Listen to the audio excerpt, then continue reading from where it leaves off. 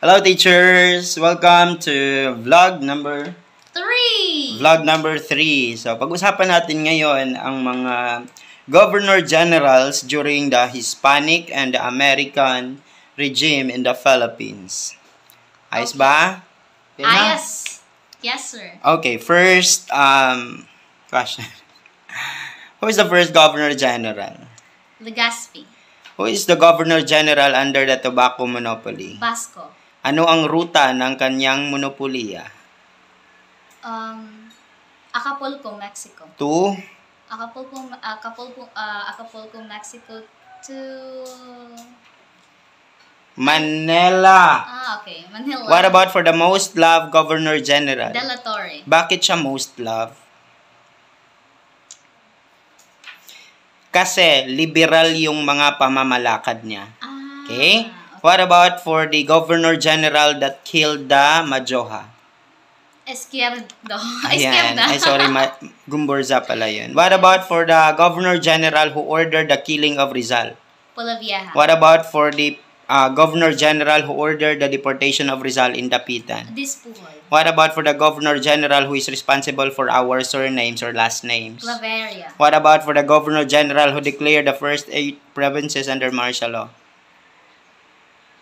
Oh, I don't know. Ramon Blanco. Ah, Blanco. Ramon Blanco.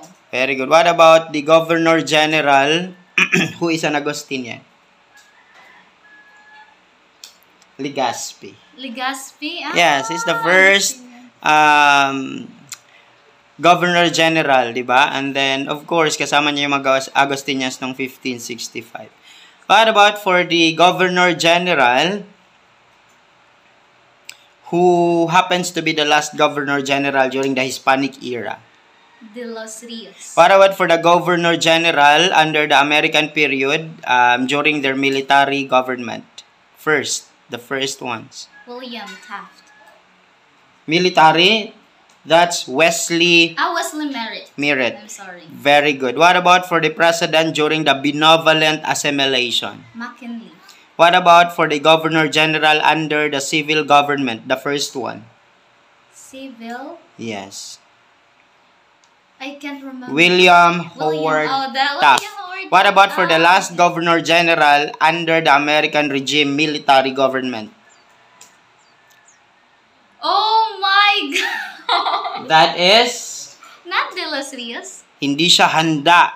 Okay? That is um Arthur MacArthur. Very good. Governor Ikaw General. nakasagot. Talo mo na siya.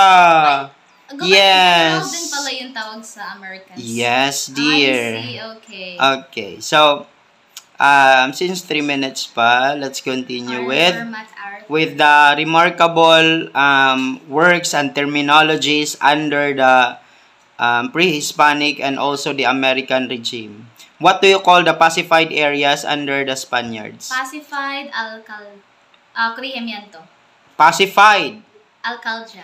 Okay, you're just trying to do guessing games. What about an unpacified um, places under the Spaniards? Corregimiento. What about for the pueblo? Town. What about for the cabeceras? Uh, town centers. What about for the trade centers? Ayuntamiento. What is the policy that um, 18 to uh, 60 years old boys shall work with no pay? Forced labor. Kapag tamad ka, anong babayaran mo? Fala. What what do you call the product tax? Bandala. What about for the trade centers again? Ay, ayuntamiento. What about for the process of resettlement? Reduction. Reduction. What about for the managers of encomienda system? Encomiendas. Encomiendado. Encomiendero. Very good. What about for the highest position that a Filipino can get or a mestizo can get during the Spaniards period? Gobernador Silio. Governador Sil. What about the tax collectors? Who are they? Uh, uh, I can't remember. Cabeza De Barangay. de Barangay. What about the town announcer? Omalukan. What about for the full free trade during the American period? Full. Um, Underwood. What about for the partial free trade during the American period? Pine, uh, Payne Aldrich Act. What about for the 10-year transition that the Philippines will have uh, con- uh, independence? Tidings McDuffie. Tidings? McDuffie. McDuffie Law. What about for the independence of the Philippines is stipulated in what act? Jones Law. Specifically in In preamble. Preamble. What about for the bicameralism? Saan yan ang galing? Jones Law Who are our first teachers? Um, Thomasites. American soldiers. And the first American formal soldiers. teachers are Thomasites. Thomasites. That's for today's Today's drill, I think. Thank you, everyone. Yeah. So, marami siyang mali. Kapag nakasagot ka dyan, so ibig sabihin mas magaling ka sa kanya in terms of the Governor General and the terms related to the different eras in our country. Subscribe for more videos. videos, yes. Bye-bye. So much, teachers. Bye.